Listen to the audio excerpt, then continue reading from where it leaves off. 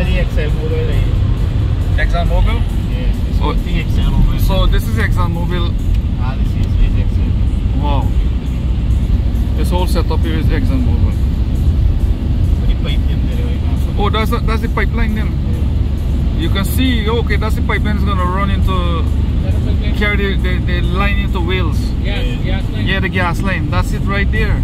China,